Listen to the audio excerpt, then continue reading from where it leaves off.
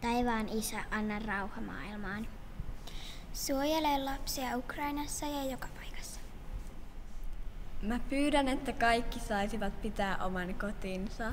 Mä pyydän kaikille suojelusenkeleitä. Tout le monde a besoin d'amour. Mä pyydän rauhaa. Mi shiftu.